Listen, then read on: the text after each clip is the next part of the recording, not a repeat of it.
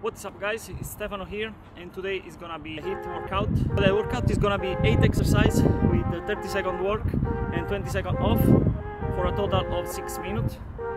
Uh, so of course you can repeat 2 or 3 times, uh, it depends from your level.